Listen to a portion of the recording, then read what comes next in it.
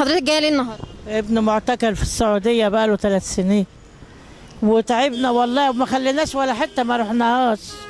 وبالناشد عصام شرف والمشير إنه يحسوا بينا. عصام شرف أب وبعد يقول ابن محمد ابن محمد.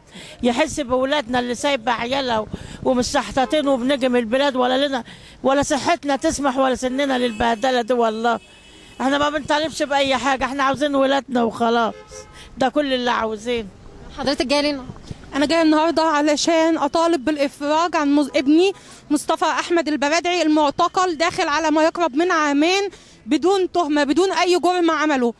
فإحنا يعني إحنا تعبنا إحنا ناشدنا الناس اللي ماسكة البلد رئاسه الوزراء والمجلس العسكري والخارجيه وإحنا السفارة السعودية وبقالنا تسعة أشهر متبهدلين. وما إحناش من القاهرة إحنا مش من القاهرة. إحنا بنيجي من المحافظات. نناشد مين؟ ارحموا من في الأرض يرحمكم من في السماء. نناشد أسيادهم. أسيادهم هم عارفينهم. أنا بناشد أسيادهم. هم اللي هيطلعوا لنا أولادنا. طالما إحنا مع... ما... مش قلبنا على أولادنا مش بندور عليهم. طالما اللي ماسكين البلد بتوعنا مش قلبنا مطلعين مكبرين دماغهم ما بيدوروش على أولادهم. فأنا بناشد أسيادهم. اسيادهم اللي هم الأمريكان واليهود لو قالوا لهم طلعوهم هيطلعوهم.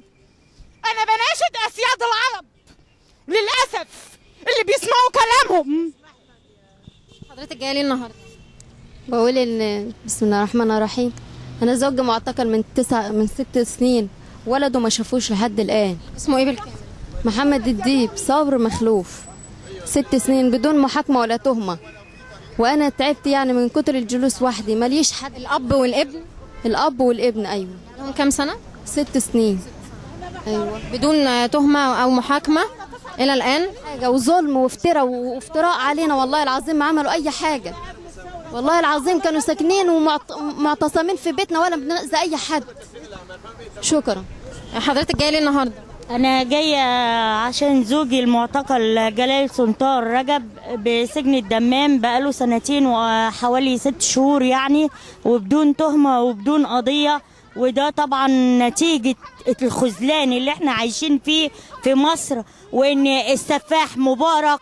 حسبنا الله ونعم الوكيل. هو اللي رخص ولادنا وأهالينا بره واخد معاهدة بينه وبين عبد الله.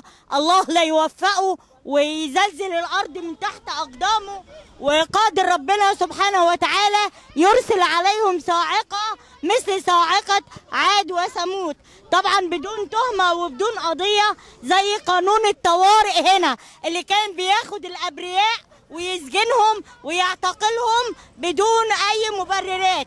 فإحنا بنناشد الناس اللي هم مسؤولين عننا سواء الخارجية أو قوات المسلحة أو أي مسؤول يدور على أهله وعلى أبنائه اللي حقوقهم مهدورة في البلاد العربية وخاصة المملكة العربية السعودية. وحسبنا الله ونعم الوكيل. ولا تحسبن الله بغافل بغافل عما يعمل الظالمين. وحسبنا الله ونعم الوكيل. فأي إنسان مقصر ربنا سبحانه وتعالى هيسأله. ساعده في فك العاني. الرسول عليه الصلاة والسلام أمر بذلك وربنا هيسألهم. ولا إيه؟ يعني ولا تظلم أخاك. بحسب امرئ من الشر أن يحقر أخاه المسلم أو يظلمه أو يخذله. فكفاية يا عبد الله خذلان وظلم للعرب وللمصريين. وحسبنا الله ونعم الوكيل. حضرتك جاية ليه النهارده. أنا أم حذيفة زوجة المعتقل خالد محمد موسى عمر معتقل في سجن أبها بقاله سبع سنوات أنا بكلم المشير طنطاوي بقول له كفايانا ظلم إحنا ظلمنا في عهد حسني واتبهدلنا من أمن الدولة المصرية وما جينا نطالب بأزواجنا اللي هي. وما جينا نطالب بإخراج أزواجنا من المملكة العربية السعودية إنهم معتقلين تحت الأرض معذبين ومدفونين تحت الأرض. ما جينا نطالب بيهم بعتوا لنا أمن الدولة المصرية بيوتنا بهدلونا وبهدلوا أطفالنا وبهدلوا النساء. دلوقتي عهد حسني خلاص خلص. إحنا بنكلم المشير طنطاوي بنقول له لو سمحت لو سمحت رجع عيالك من السعودية. رجع المعتقلين المصريين المدفونين تحت الأرض في السعودية من غير تهمه من غير قضية من غير حكم. يعني كده بقى كده عار عليك بقى عار عليك اللي المصريين ديت مسجونين هناك. عبد الله ما بيعملناش حاجة. عبد الله يمكن ما يعرفش اللي فيه مصريين مسجونين.